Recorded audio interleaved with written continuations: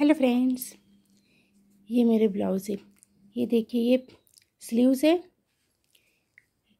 जो ये blouse piece के साथ जो बॉर्डर आई थी, वो इतनी आई थी। दो इंच चौड़ी और सिर्फ़ स्लीव्स में लग जाए इतनी आई थी।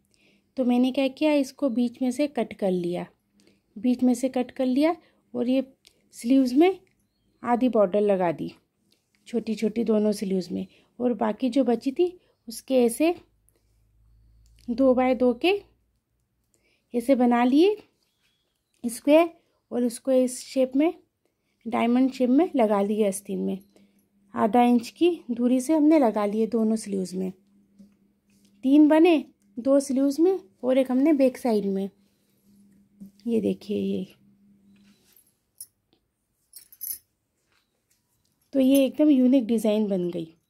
हर बार वो स्लीव्स में पूरी सिर्फ़ प्लेन पट्टी लगा दो बॉर्डर की तो वो तो कॉमन हो गई है। ये एकदम नया लुक आ रहा है। स्लीव्स का भी।